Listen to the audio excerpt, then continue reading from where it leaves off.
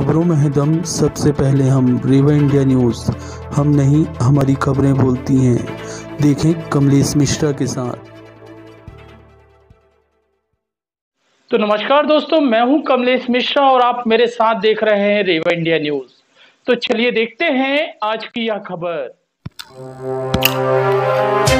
मंडला, पहली ही बारिश में नगर पालिका की खुली पोल। रहवासियों के घर पर घुसा पानी, गुस्साए लोगों ने किया चकाजाम। जी हाँ, मामला नैनपुर नगर परिषद का है, जहाँ पर एरिकेशन कॉलोनी के सामने पाँच वार्डों पर पानी की निकासी के अभाव पर सड़क तक पानी आ गया।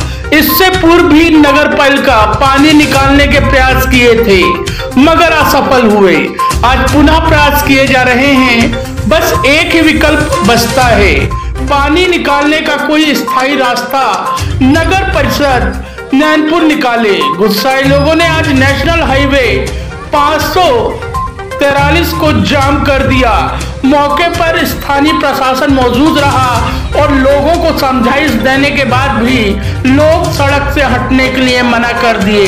वही रहवासियों का कहना है, जब तक नगर परिषद नैनपुर पानी की निकासी की परमानेंट व्यवस्था नहीं करती, आंदोलन जारी रहेगा।